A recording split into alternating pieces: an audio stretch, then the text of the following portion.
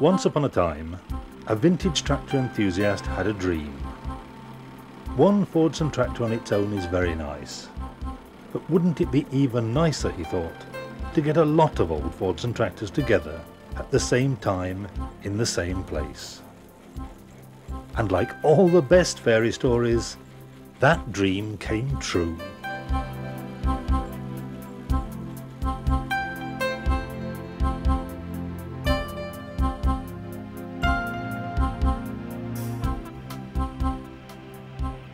Fordson 500 took place on the Newark and Nottinghamshire Showground over a summer weekend.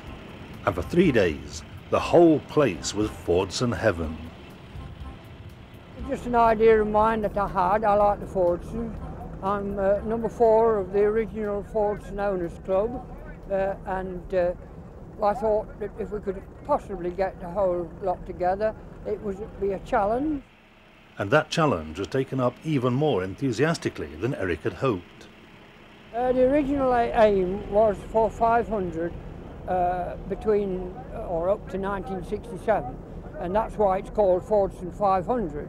But uh, we kept the entries coming, and I believe the Guinness Book of Records is 1,002 tractors.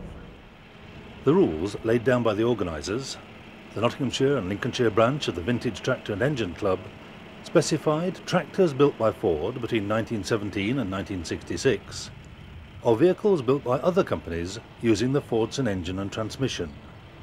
20,000 visitors came to see the tractors, which arrived from all over the British Isles, with a few in from further afield.